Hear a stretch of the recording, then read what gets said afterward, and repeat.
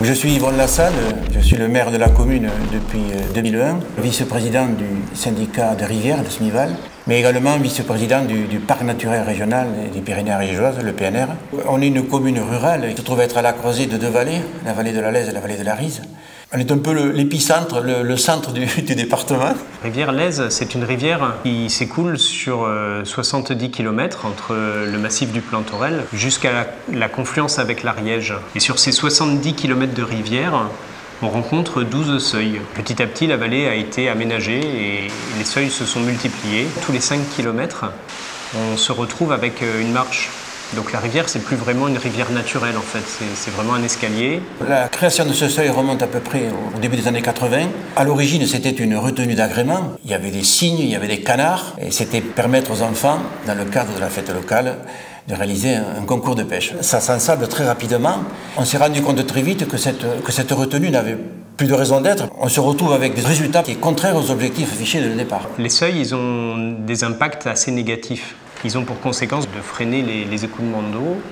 Euh, ils augmentent la surface de l'eau qui est du coup euh, beaucoup plus exposée à la lumière du soleil. On se retrouve avec euh, un développement d'algues, avec un milieu qui se dégrade par rapport à une rivière qui est courante.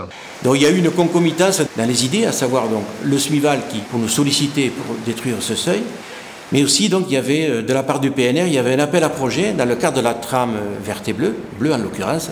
C'est une opportunité pour pour supprimer ce seuil.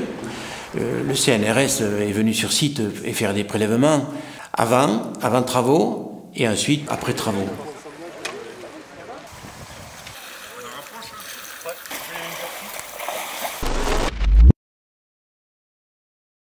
Cette étude s'inscrit euh, dans le cadre de l'élaboration des trames bleues au sein du parc euh, régional de Pyrénées-Ariégeoise.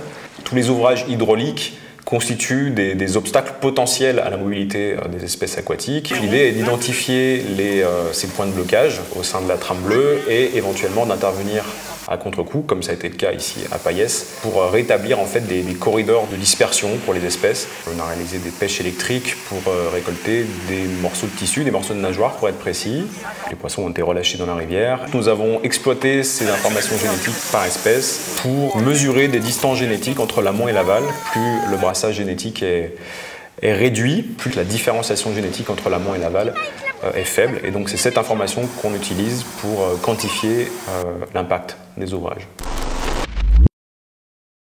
Les seuils, ils modifient, euh, les berges, la structure de la rivière, les habitats pour les poissons. Donc on se retrouve en fait avec un milieu qui a été petit à petit euh, abîmé, dégradé par la présence de ces seuils et par leur multiplication. On vient d'obtenir les résultats pour deux des espèces, euh, le goujon occitan et le verron. Avec l'indice qu'on a développé, on obtient une valeur de 60% pour le verron et de 36% pour le goujon occitan ce qui correspond à un impact modéré pour le goujon et un impact relativement fort pour le verron. Ça indique qu'avant effacement de l'obstacle, euh, il y avait un, réel problème en termes de connectivité, était assez pertinent. L'abaissement du seuil de Payès a, déjà commencé à porter ses fruits. On commence déjà à avoir des bénéfices puisqu'on a pu observer que certaines espèces étaient revenues ce sont notamment des petites truitelles qui étaient absolument pas présentes euh, avant la suppression du seuil. C'est un poisson qui est un indicateur d'une bonne qualité de, la rivière. Cet été, ça a été génial. C'était paillès-plage. Tous les gamins dans l'eau, les parents au milieu sur la petite île euh, en train de bronzer, euh, c'était génial. Globalement, bon, c'est quand même dans mon ADN de, de vrai ce sens tout ce qui est transition écologique, euh, c'est des sujets qui sont de plus en plus prégnants. Un, des objectifs de l'opération, c'est aussi d'avoir un effet pédagogique. Il y a aussi d'autres seuils qui, qui, pourraient aussi avoir la même destinée. Oui, c'est énorme.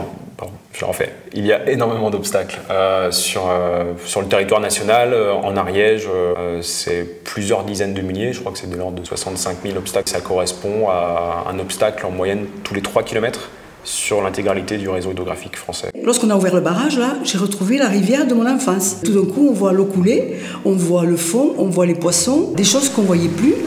On dirait que c'est une rivière apaisée.